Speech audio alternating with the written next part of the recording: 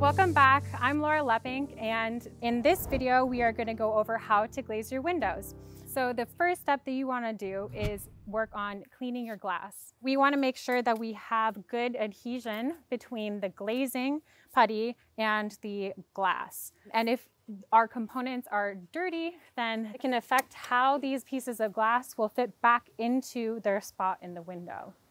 We do have a couple of pieces of glass that have been pre-prepared. And the first thing that we need to do is treat the rabbet. And the rabbet is this little L-shaped ledge that the glass will sit into. And what I mean by that is that we wanna treat it with something to make sure that it's not really dry.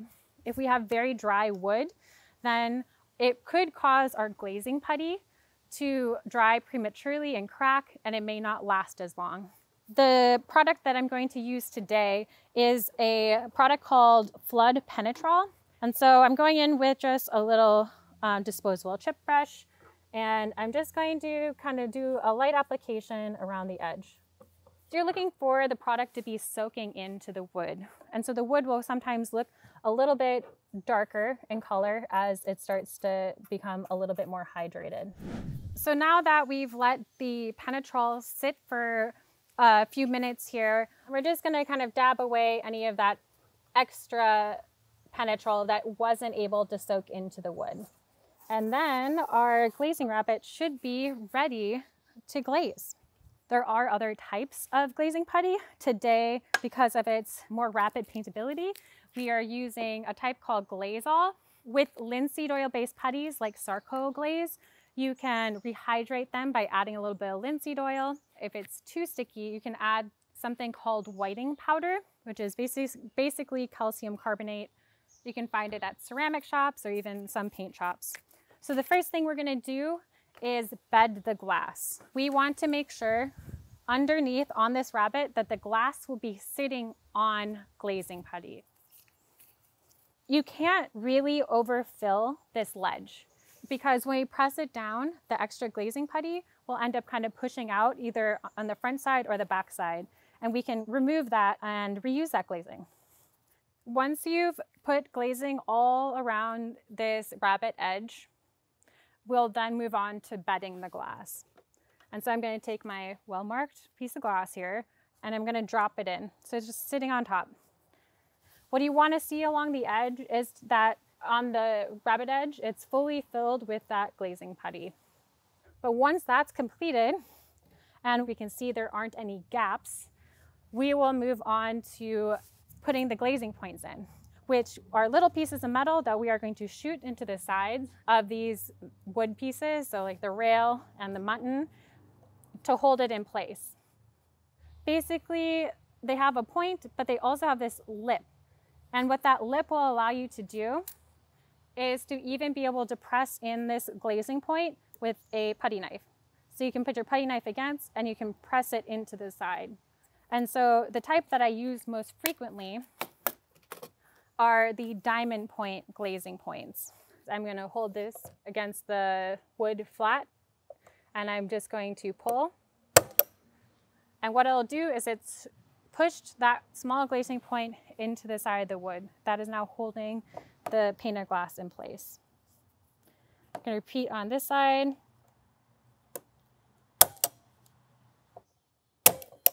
And we're going to shoot it in and see if we can get those to slot correctly.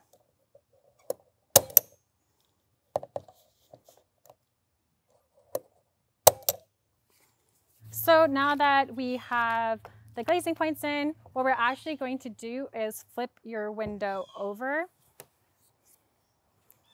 and what I'm gonna do is cut away this extra glazing putty on this back side.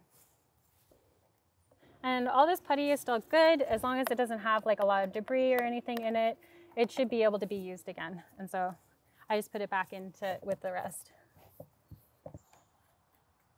You may have to come back in here and clean it up again a little later because as we press down when we glaze the window, a little bit more putty can kind of squish out.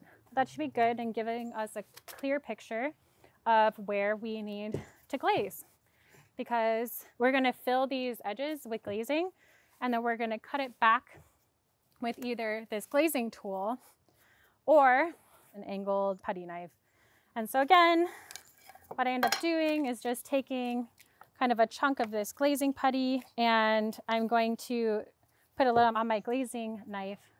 And I'm gonna kind of just fill in this gap.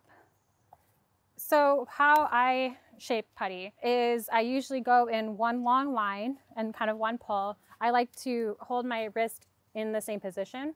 So first I will cut in to the corner at the angle that I want the corner at. Then I tilt it down and I'm gonna let this wood edge guide my putty knife.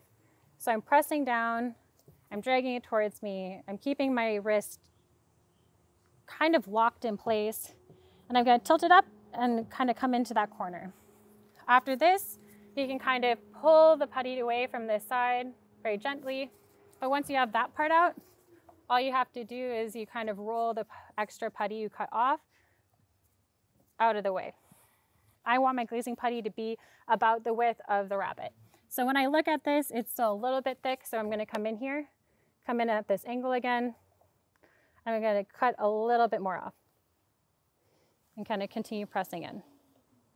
At that point, what you end up doing is working your way around the window. So I like to shift my window because I am right hand dominant because then I'm gonna come at this corner that I just worked on and I'm gonna cut into the corner at the angle I want that corner and pull and cut into that other one. To finish up this process, you pull and shape all four of these sides.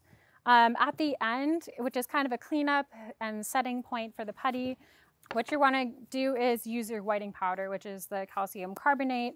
You basically just come in and dust along this edge. And what this does, especially with linseed oil based putties like Sarcoglaze, is create like a little bit more of a skin, which kind of protects the putty a little bit more. And that is pretty much the glazing process. You let that sit and make sure the glazing putty is hardened a little bit before you end up painting.